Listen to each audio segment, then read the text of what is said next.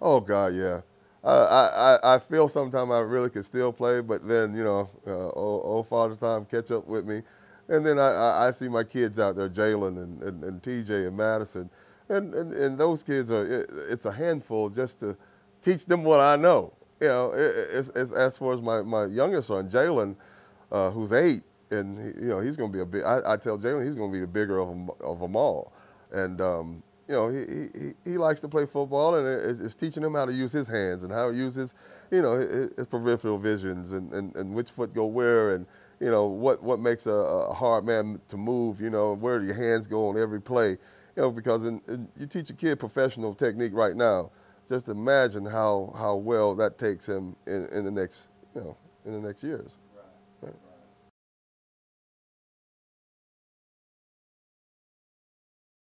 Yeah, TJ, um, TJ, TJ set a different standard.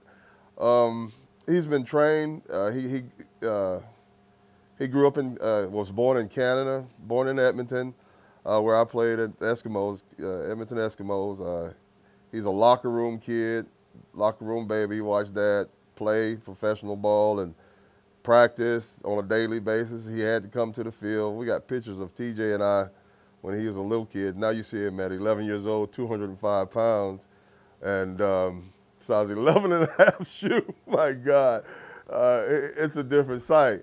But uh, he he um, he he plays football. Um, doesn't want to block. Don't want to run the ball. Don't want to, you know, all he all he wants to do is play nose guard. this year we moved him uh, from from a four technique, five technique out on the tackle to more like a, a, a Mount Cody. He thrived that's what we pay him every game. So he's he's he's a little Mount Cody, but uh, he's a runner. He's he's he's one of the fastest kids on his team. Uh, I, am in Shelby County. Uh, I, I coach uh, coach Little League football. I coach Little League baseball. I uh, I do a um, Thomas Rayam football camp.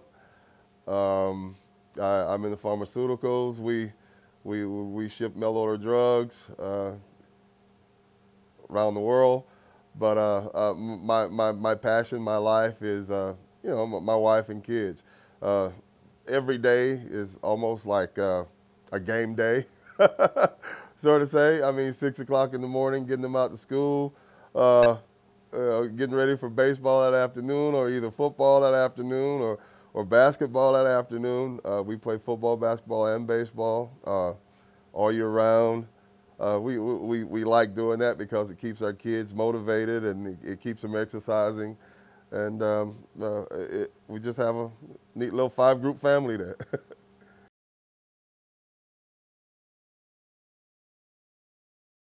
what, I, what Alabama has always had is a stable full of kids that are ready to play football at a minute's notice. Coach Saban is a guy who can direct, direct the, uh, program in a way that we want to go. I mean, national championships is, uh, is what we step on the field for. I mean, we step on the field to take the, take the field from everybody who we play against to be national championships. That's the only reason why you come to Alabama. If you ain't got it in your heart to be a national champion, you're not going to pay the price the way we want you to pay the price. So Nick Saban has that about him every day, every time he steps on the field. I don't know who ends it out throughout the day, but when he's on that field, and I, when I see him on the press conferences and out there directing those kids in the way that they're supposed to go, a coach is a hands-on coach on and off the field. I don't know how he's off the field, but I see us going back to where we need to be, and that's the dominance.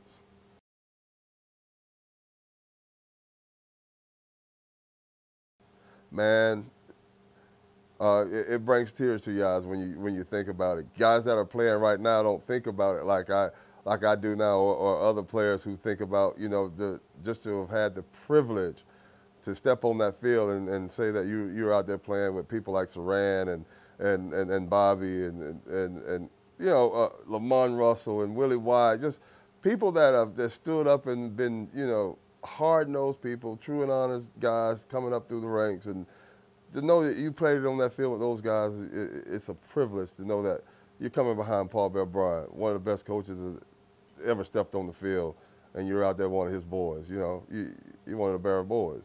So uh, you, you, can't get any better than that.